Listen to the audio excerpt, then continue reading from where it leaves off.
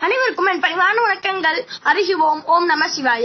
நம்மளோட சிவன் சேனல்ல நம்ம அறுபத்தி மூன்று நாயன்மார்களின் கதைகளை தான் பார்த்துட்டு வரோம். அதன்படி நாம் இன்று ஐம்பத்தி எட்டாம் நாயன்மாரான பூசலார் நாயனாரின் கதையை தான் காண போகிறோம்.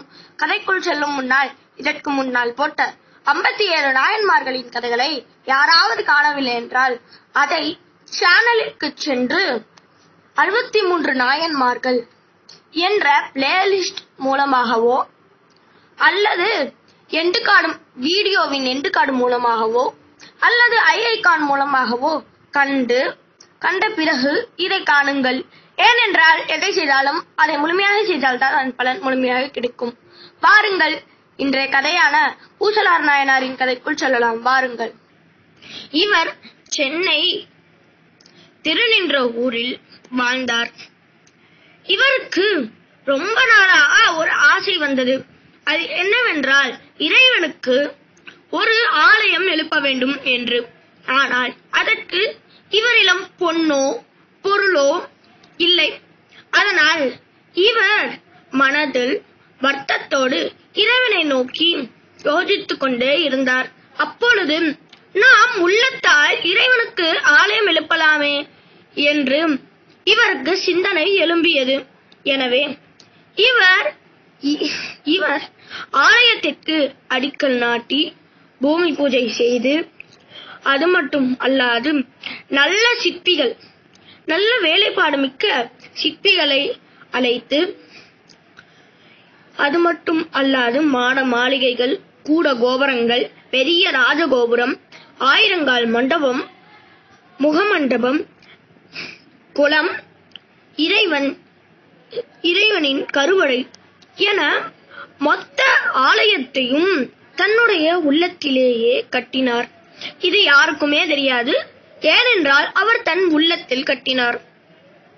இவரது இதய ஆலயத்திற்கு குடமுழுக்கு விழாக்காக ஒரு நாளையும் தேர்வு செய்தார். அந்த நாளில்தான் நாம் அனைவருக்கும் தெரியும் காஞ்சிபுரத்தில் கைலாசநாதர் ஆலயம் உள்ளது. அந்த கைலாசநாதர் ஆலயத்தை கட்டிய கட்டிய சோழ மன்னன் அந்த நாளில்தான் கைலாசநாதர் ஆலயத்திற்கு கும்பாபிஷேகம் செய்ய வேண்டும் என்று அந்த நாளையே தான் தேர்வு செய்து கொண்டார். இறைவன் இந்த பூசலாரின் பெருமையை உலகறிய செய்ய. இரவு மன்னனின் கனவில் வந்து மன்னா மன்னவா நீ உன் கைலாசநாதர் ஆலய கும்பாபிஷேகத்தை அப்புறமாக வைத்துக்கொள். நாளை தள்ளி வை. ஏனென்றால் நான் அன்று திருநின்ற ஊரில் பூசலார் கட்டிய ஆலயத்தின் குடமுழுக்கு விழாவுக்கு செல் செல்வதாக முடிவு செய்துள்ளேன். எனவே நீ உன்னுடைய ஆலயத்தின் கும்பாபிஷேகத்தை தள்ளி வை என்று கூறுகிறார். இதை கேட்ட மன்னவனோ அவருக்கோ ஒரே ஆச்சரியம். யார் அந்த பூசலார்? திருநின்ற ஊரில் அவ்வளவு பெரிய ஆலயத்தை கட்டியவர் யார்? அவ்வளவு சிவபக்தரா? நான் அவரை காண வேண்டும் என்று உடனே திருநின்ற ஊருக்கு வருகிறார். திருநின்ற ஊரிடம் ஊரில் மக்களிடம் பூசலார் ஏதோ ஆலயம் கட்டி உள்ளாராமே? அது எங்கு உள்ளது? என்று கேட்டார். ஆனால் மக்களோ அப்படியெல்லாம் ஒரு ஆலயமும் இங்கு கட்டவில்லை. பூசலார் அங்குதான் ஒரு கல்லில் மௌனமாகவே அமர்ந்திருப்பார் என்று கூறினார். உடனே அவரும் பூசலாரை காணச் சென்றார். இதை கண் இதை கண்ட பூசலாருக்கோ? ஒரே சந்தோஷம். தன்னுடைய மனத்துக்குள் இறைவனுக்கு பூரண குடமுழுக்கு நடந்தது. அது மட்டும் அல்லாது இவர் ஆலயம் கட்டுவதற்கு மற்றும் குடமுழுக்கு ஆன அனைத்து சாமான்களையும் தன் மனதில் பிரத்யக்ஷம் செய்து கட்டினார்.